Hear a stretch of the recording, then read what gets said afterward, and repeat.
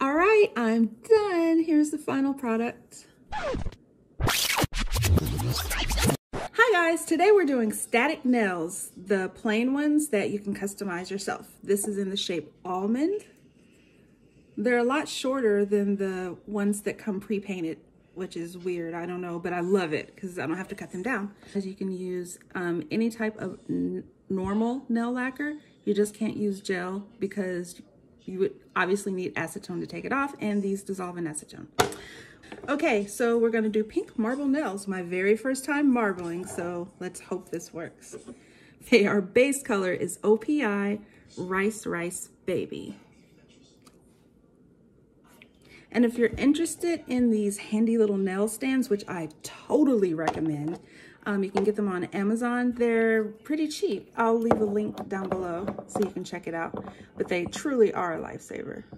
Like, what other way could you do this without, uh, unless they're like actually on your hands?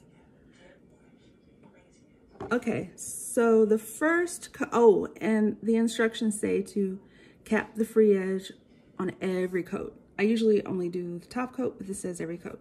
Anyway, you can see already going on is a little splotchy. Whoa, that's kind of a cute marble effect. Anyways, we're not gonna leave it like that. yeah, the first coat goes on kind of splotchy. Hopefully the second coat will be better. All right, so that is the left hand. And now onto the right hand.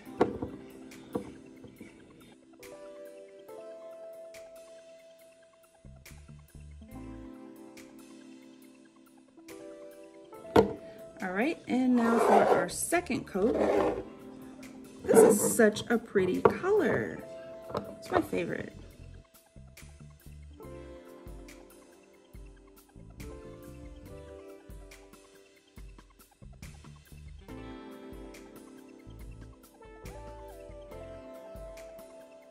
That didn't go on as smoothly as I would have preferred. All right, now it looks like we're working on a third coat on this one.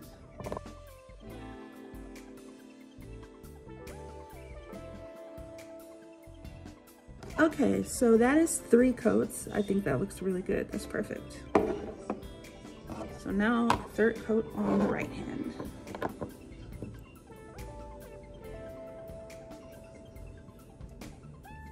I like how, this doesn't seem to need a coat. I'll do it anyway. I like how these stands, one is, it's a pack of two when you, okay, get your words together first. So these stands come with 10 each. And I like how one side is, um, this, I like how one side is silver and the other is pink. That way you don't get your left and right hands mixed up. These are also amazing for practice. Like you can just get a bunch of the cheap clear nails and just practice all day on these. Let me show you how much putty comes with it to stick the nail on. So you get this, that's a lot, right? Well, at first when I saw it, I was like, yo, I'm gonna need to reorder. But you don't use a full square for each nail. Like I can get about three from, um, I can stick three nails with just one square. So yeah, it's gonna last a while.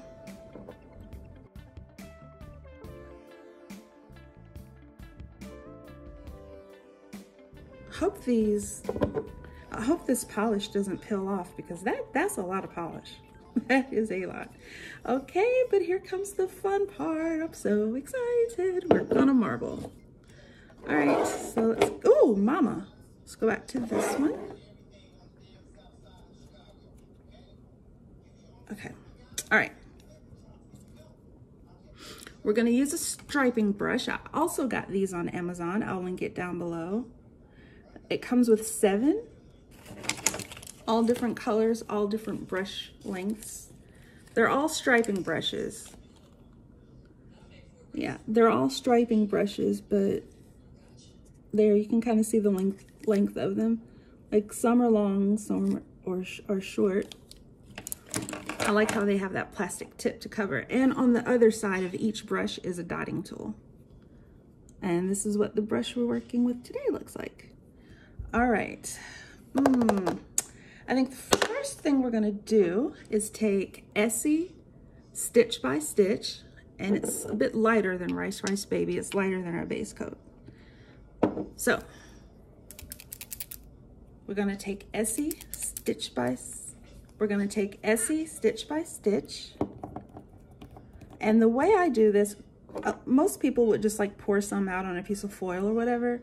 I literally just open it and then brush some of the polish onto my striping brush. Okay. And then I'm just gonna make a squiggly, uh-oh, a squiggly line like that. You can barely, barely see it, but there it is. Okay. And I'm also gonna use the other side for the bigger marbling. I'm gonna use the dotting tool. And I do it the same way. I just brush it. Sorry. I just pick it up from the brush. And then I'm just going to make random diagonal lines. The good thing about this is like you really can't mess up because no two marbles are going to be the same. So you literally, let me see if I can do it that way. You literally just go for it. Then we're gonna go back to the striping brush. And by the way, I am not a pro and I do not claim to be a pro. This is literally my first time marbling. I just watched a lot of videos. Okay, so that's what we have so far. Also when it comes to marbling, the colors you choose, the colors you choose mean a lot. And I'm just squiggling the brush on like that. I think that's enough. All right, so now we're going to add in some white. So I'm using Essie pre-show jitters.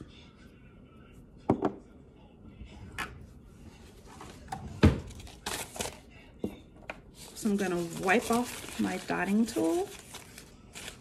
You can use polish remover if you want, but it's still wet, so it's coming off, it's fine. And looks like the brush is fine too. These brushes are really good quality and they were cheap. Okay, So we're gonna do the same thing. We're just gonna, ah, gosh, these are so tight. So we're gonna do the same thing. We're just gonna pick up from the brush, from brush to brush.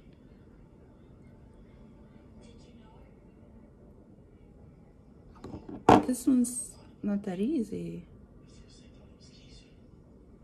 There we go. Now, I'm just gonna follow the lines that I already have and I'm just gonna put it right beside it. Oh, that's so gorgeous. Oh my gosh, so cute. I can't believe I'm actually doing it. Like I've never done this before. And trust me, if I can do it, you can do it.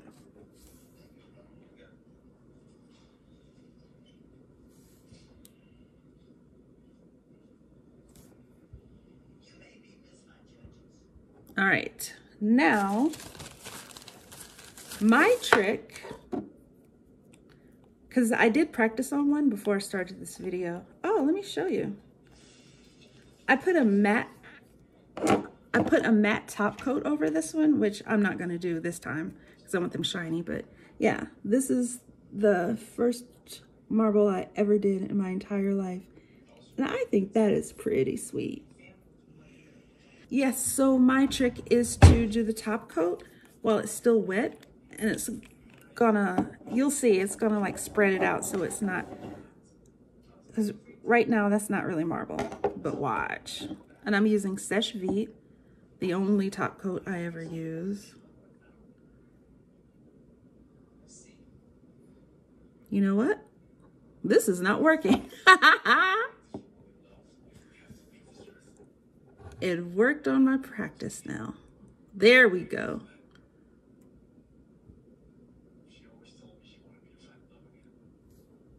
It's a little better. It's not exactly what I was going for, but it's not horrible.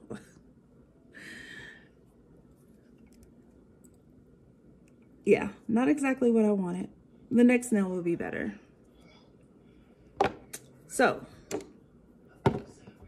this time we're going to use the dotting tool a little bit more because it gives you edges that are not as straight.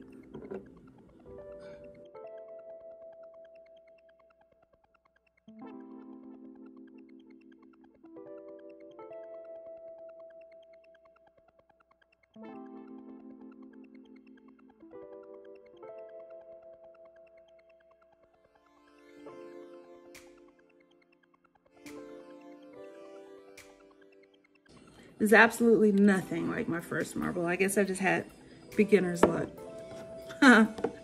so that's what we have. I mean, they're not bad, right? I'm just obviously not a pro. Practice makes perfect. That's okay. We're going to keep at it.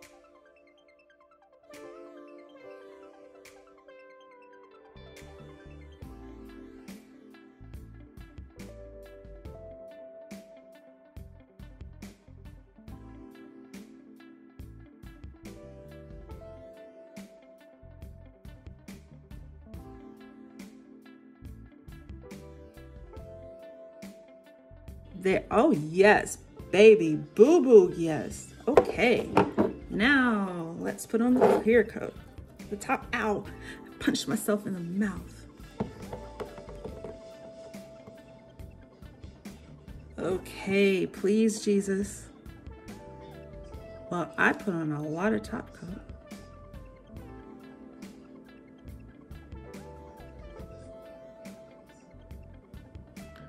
Yeah, that's probably gonna bubble.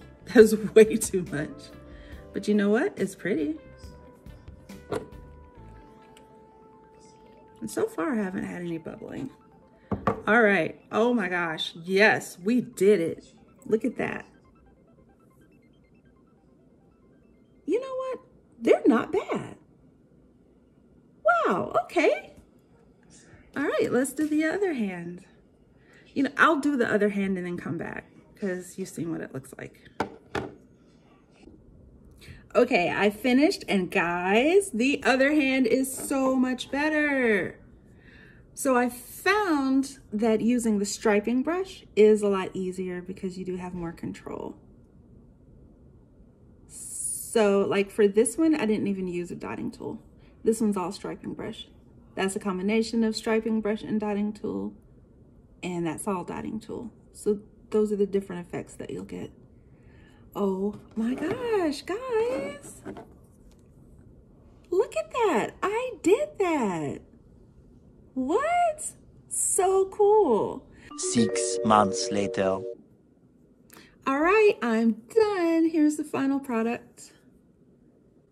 Oh, I was thinking about painting my ring fingers pink, but then I figured it would be kind of weird to just have like one white nail in the middle. I don't know. But anyway, this is what we have. I think they turned out great. I absolutely love them. It looks like I went to a salon. Um, let me show you one other thing. This is the clay and it, it's still very sticky. Like you can totally keep reusing this. I'm frugal. so I'm taking all of the clay and making it into a big ball and I can use it next time. Just make sure it's in um, an airtight bag, something where, you know, it can't dry out. But yeah, so that sheet is gonna last me forever because this is all I used for all 10 fingers and I will be using it next time. Anyway, if you have watched this far to the end of the video, you are the real MVP. My dog is growling in the background and I really appreciate you guys more than you know. So please comment, subscribe, and like this video and I will see you next time. Bye.